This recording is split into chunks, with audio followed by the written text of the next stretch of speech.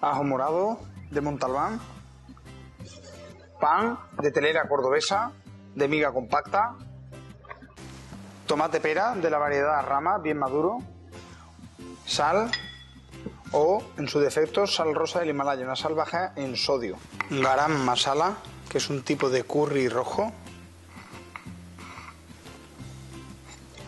aceite de oliva virgen extra de la denominación de origen de Estepa.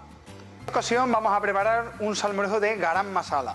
La garam masala es un tipo de curry rojo en esta ocasión, pero que podemos sustituir por cualquier otro tipo de curry que más nos guste. Dentro del salmorejo vamos a encontrar unas notas frescas, aromáticas y multitud de sensaciones gracias a este tipo de curry que combinado con nuestro virgen extra darán un resultado espectacular. Para hacer este salmorejo, lo primero que ponemos nuestro robot de cocina en, la modalidad de balanza. Añadimos una poquita de sal. Acto seguido vamos a añadir el ajo, el tomate y un poquito de aceite de oliva virgen extra de la denominación de origen de estepa. Acto seguido vamos a tapar y vamos a comenzar a triturar lentamente. Paramos, vemos si se ha integrado bien el tomate, si está bien triturado, sobre todo lo que es la pepita y, la piel, la piel del tomate, y vamos añadiendo el pan.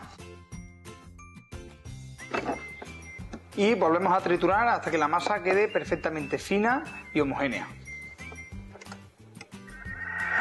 A continuación vamos a añadir la garam masala, que es una especie de curry rojo. Y volvemos a triturar unos minutos más.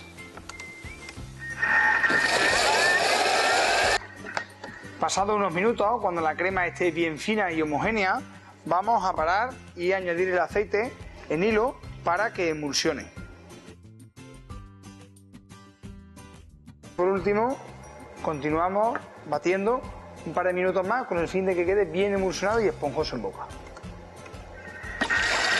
Para este salmorejo de garam masala, que no deja de ser un tipo de curry rojo, vamos a añadirle de guarnición un tartar de gambas, al cual hemos pelado y aliñado ligeramente. Vamos a ponerle el toque inconfundible de nuestro aceite de oliva virgen extra de la denominación de origen de estepa, unos matices florales. Por último, vamos a añadirle una gambita blanca puesta por encima.